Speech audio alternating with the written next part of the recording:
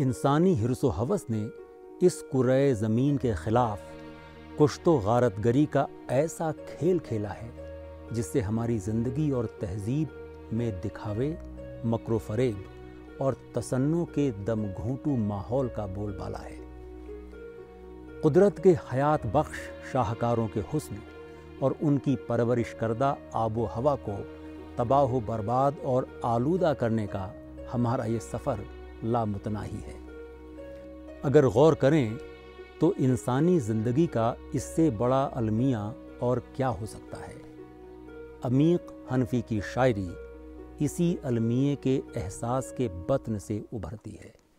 عمیق حنفی جدید یا ماڈرن اردو نظم میں صف اول کے شاعر ہیں اور جدید نظم نگاروں میں بھی ان کی اپنی ایک آواز ہے، ایک منفرد آواز۔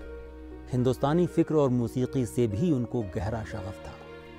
لیکن افسوس کا مقام ہے کہ عمیق حنفی ایسے اہم شاعر، ایک ایسے شاعر جن کی نظم گوئی کا فن جدید اردو شاعری کی روایت میں اضافہ ہے۔ ان کی ادبی قامت جس توجہ اور غور و خوص کی مستحق تھی، اس میں اردو تنقید نے کوتاہی برتی۔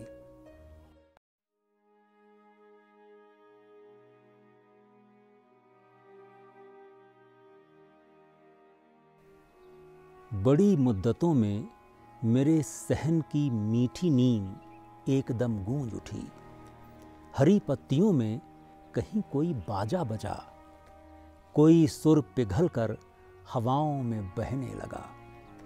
بڑی مدتوں میں درخت آج پھر مجھ سے کچھ کہنے سننے لگا۔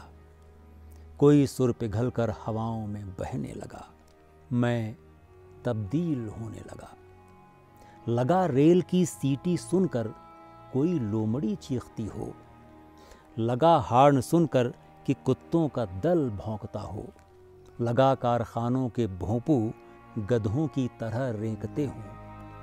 لگا جیسے پریشر کوکر میں غذاؤں کا دم گھٹ رہا ہو۔ لگا جیسے چھت پر چڑھا تیز پنکھا بہت دیر سے بڑبڑاتا چلا جا رہا ہو۔